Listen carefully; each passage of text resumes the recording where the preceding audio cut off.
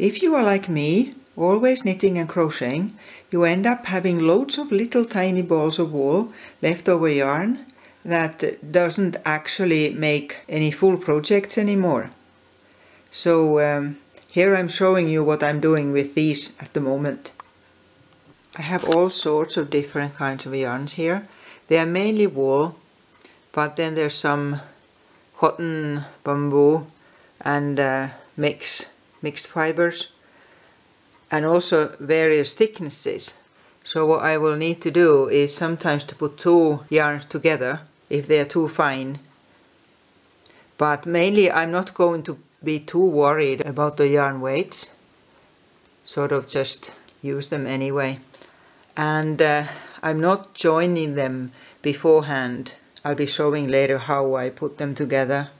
I know that some people like to use various joining methods and then make big balls of wool, but um, I prefer not to. We can use all this scrap yarn up for a scarf or shawl or even a blanket, where you just use one little ball of yarn up and then take another. Okay, let's start.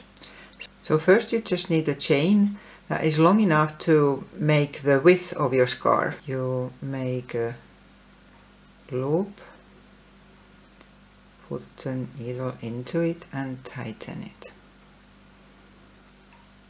And then you start chaining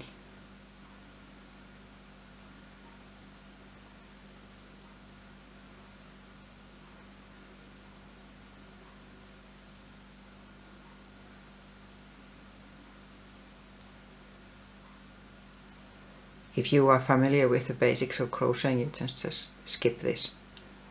So um, you continue like this until it's long enough. Mine uh, is 60 centimeters long. So just chain for 60 centimeters. Now my chain is long enough and then I start the next row. We will be using just trebles and chain stitches. And that's treble in the British sense, Americans call it double crochet. But anyway, it doesn't matter what you call it, I'm going to show it. First, you need a yarn over. So one yarn over and then for this first turn you count the sixth stitch from the hook one two three four five six and you insert the hook into that through like that and then you pull the yarn through there and now you have three stitches on your hook again you take a yarn over and you pull it through two of these. And yarn over and through the rest too. That's your first treble. Then you chain one. And basically that's all there is to it. For the whole scarf you keep going like this. I'll make one more yarn over you need to skip one stitch so that will be even not this one but the next hook through pull the yarn through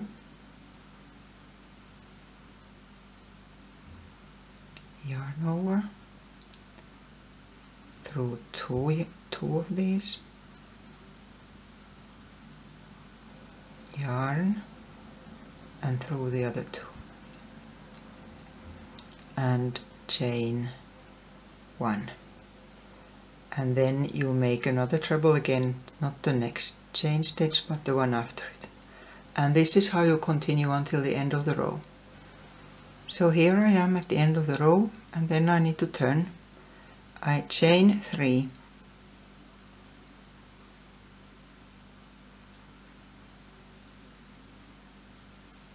and turn. And I'm going to make the next row of trebles into these loops, holes left from the previous row. So I make one treble into this here first one.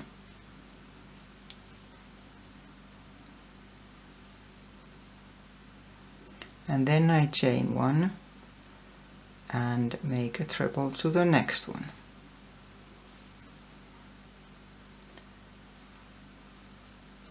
So basically this is all there is to this.